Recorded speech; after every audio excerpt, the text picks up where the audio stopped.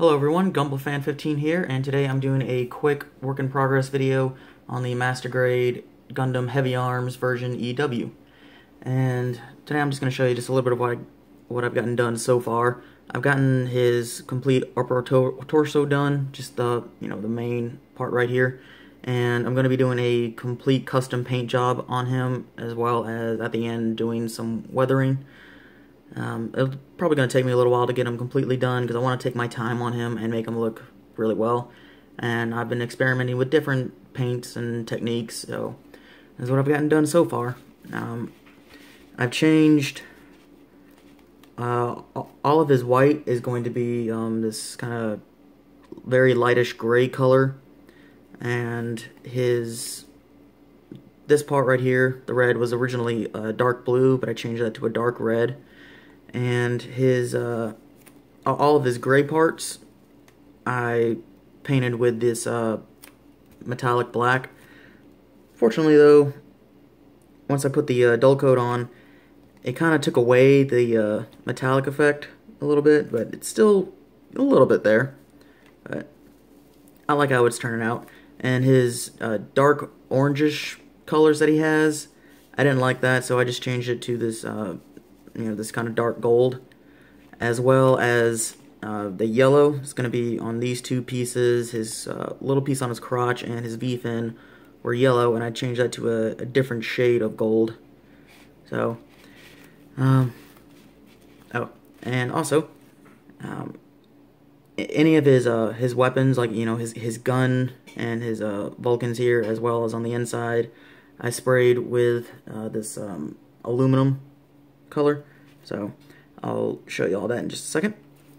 Um, as far as the colors that I'm using, uh, for to replace this white, I got this uh, Model Masters flat gold gray, which is what you see here. Uh, the black metallic that I'm using is just this regular uh, Testors black metallic.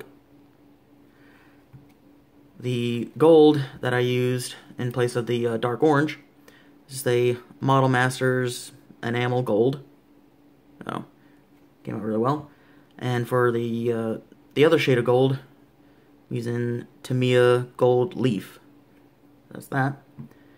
And for his, um, if you can see over here, what I'm going to do on his missile pods, on the side of his legs here, I wanted a different shade of gray, so I'm using this, this dark uh, gunship gray, uh, Model Master gunship gray. And for the red, I'm going to be using for that and for pretty much everywhere else on him. I've got this uh, Testors Gloss Dark Red, but once I put the flat coat on it, not gloss anymore. And it came out a lot darker too. And uh, it came out darker because I used um, a gray primer. My first time using primer, and I actually liked how it all came out. I tried using primer before, and I don't know, maybe it was just my spray technique or whatever, but it just did not look good, but practiced on it, and it came out really, really well. I like how it made everything a lot darker, because how I'm going to make him look is really weathered, like he's been through the battle, and hopefully it'll come out looking real well. So, look at him real quick. Boom. Uh, I put his decals on him. Um, it comes with stickers and dry transfers.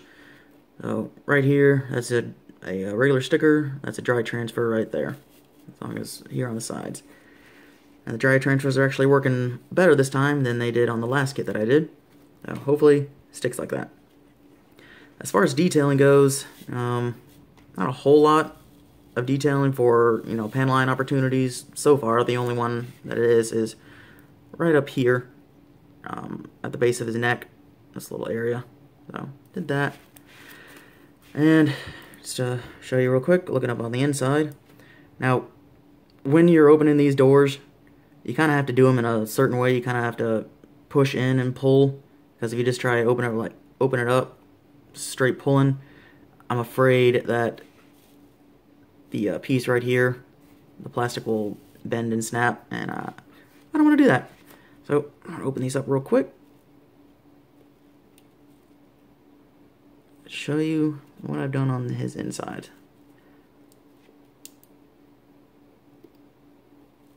There we go. Alright. I really like how that turned out. There we go. You see I did a two-tone here. Right there is the metallic black, which is just almost looks like flat black now. And his guns in here are the aluminum. So I really like the contrast there. It makes it really pop out. So a lot more detail. Oh, I like it. I don't care what anyone else says. And, you know, you open his little cockpit down here. Opens up just that much. Not too much. And you can kind of see little Trowa in there. But not too much. But it's still cool. So. Uh, anything else? Uh, no, I think that's pretty much it. So, uh, thanks for watching, and don't forget to subscribe for more content. Drop a like on this video if you enjoyed it. There's going to be a link in the description for our Facebook group, Mississippi Gundam and Gunpla. Make sure to check that out. Alright everyone, thanks for watching, and see you guys next time.